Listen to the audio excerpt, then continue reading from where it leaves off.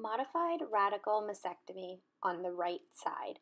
Patient requested to have surgery performed under regional anesthesia with sedation. We decided to do T2 through T6 single shots TPVB with PEC1 block. Video demonstrates only one TPVB injection. Preparation. Mark the correct side and position the patient.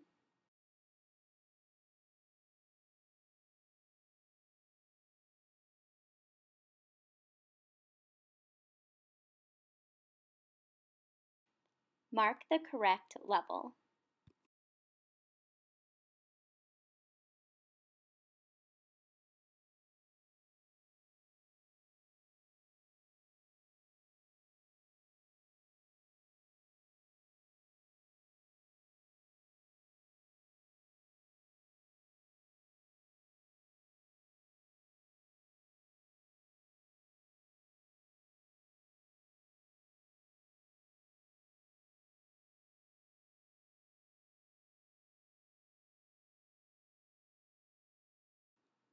Image acquisition at the marked level.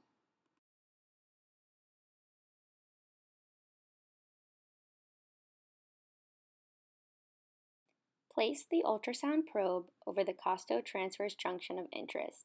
Slide the probe caudad to survey the TPVS. Note that the space is widest right below TP and smallest above the rib below. Here we are scanning the TPVS from cranial to caudal.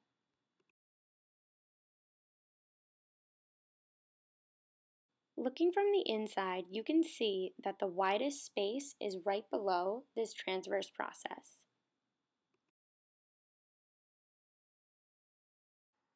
Adjust the transducer position so the target, part of the TPVS right below tip of TP, is on the border of the middle and outer third of the screen.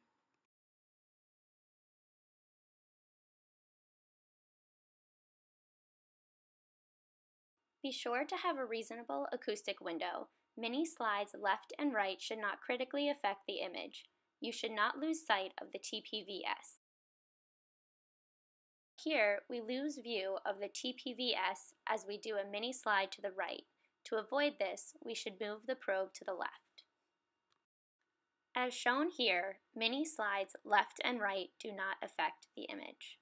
When you have a reasonable acoustic window, we can utilize mini slides of the probe to align the needle and the ultrasound plane.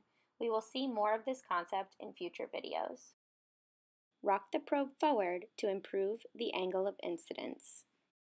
The bottom image illustrates what we mean when we say rocking the probe. This will improve the angle of incidence. Here, we are rocking the probe medially, and you can see that visualization of the lung is improving. Make sure that there is no left or right tilt of the probe.